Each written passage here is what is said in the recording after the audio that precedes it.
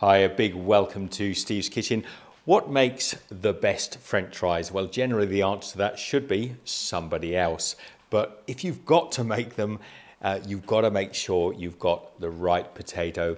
Now, obviously the potato can make some difference. I know russets are very good for French fries, but really it's about moisture content. And so I'm gonna show you how you can get the best out of almost any potato at home. Now this is a, a good all-rounder potato and actually we're going to be using this for a delicious Canadian poutine recipe which is either just gone up or going up very shortly on the channel. We actually made some really fantastic cheese curds as well so I think you ought to check that out. Those cheese curds, they were squeaky. Now I'd appreciate if you let me know how you like your french fries. I'm going to do these in a fairly simple chip style, uh, french fry style. You could do Stringfellows very fine, you could do big wedges, it's really up to you. But one of the things things we have to do to start with is get some of the moisture out of these potatoes. So I'm going to cut these up now.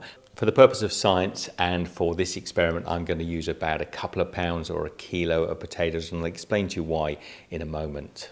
So you may have seen when I was cutting those up, there's a lot of moisture in the potatoes. How are we going to get moisture out of them? Well, actually, we're going to boil them in water to draw some of the moisture out. We're going to put salt in there. So in a pot, I've got about two liters of water. That's about eight cups. And we can drop our French fries into the water. A little like a pasta water. I'm going to put a tablespoon of salt in with there, and that's going to help season the potatoes, but it's also going to draw some of the moisture out. This is optional, but I'm also going to put a tablespoon of sugar. The sugar actually very microscopically coats the french fries, so you could leave this out. A little bit of honey would work as well. It just gives us some color when we come to actually fry our french fries. The last thing I'm going to put in there is a tablespoon of vinegar just to help break down the starches. Now take this over to the stove.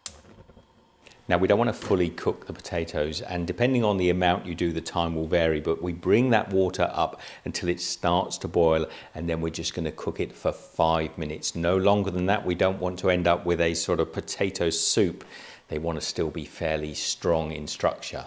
Now set yourself an alarm, make sure you don't go over the five minutes. When it comes to that boil, we've had five minutes of cooking, we're going to take it off of the stove and we're going to pour it into a colander and drain off all the moisture. Now you can decide if you want to leave them in the colander to completely dry. I prefer just to spread them out on a countertop or onto a nice clean kitchen towel. And there we're going to leave the french fries until they've completely dried and cooled down. Now the potatoes have cooled down and I'm going to hazard a guess we've actually, by boiling them in salt water, drawn out 10% of the moisture. What do you think? Well, I'm going to weigh them with you now so we can see for sure. Now I hope you can see that there. There is a french fry that I've actually boiled in the salt water. There's one I've just cut straight from the potato. And by reducing that moisture content down so far, we're going to get a lovely crisp french fry rather than the limp french fry you normally get. Now I'm going to actually freeze up half of these. They freeze really well, by the way. You can just put them straight in the freezer, uh, keep the air out so they preserve for as long as possible. I'm going to freeze these because I'm going to use half of these for the poutine recipe that's coming up very shortly. And I'll fry some now just to show you how gorgeous they come out. Now the beauty of freezing these, by the way, and I did allude to this in an earlier video where I showed the perfect McDonald's style French fry is that by actually freezing them, the ice crystals Basically, we need the little ice crystals to mash the inside of the potato. Otherwise, we'll have a fudgy interior and they won't get that lovely, light, crispy McDonald's French fry, giving you a sort of mashed potato inside, which is really quite nice, almost perfect, and why so many of those commercial French fries feel like they've not been made with real potatoes. I'm going to fry about a pound or 500 grams of these French fries, and it doesn't matter whether you went for a thin string fellow or something a bit chunkier. The cooking method remains the same. I've got some rice bran oil, any oil will do, but something with a high smoke point is ideal. I've preheated it to 150 degrees Celsius, that's about 300 degrees Fahrenheit. And we're going to cook these for about five minutes and that'll get them lovely and golden brown on the outside. I'm then going to lift them out of the oil and I'm going to let that oil come up to a higher temperature. We're going now for 190 degrees Celsius, about 375 Fahrenheit.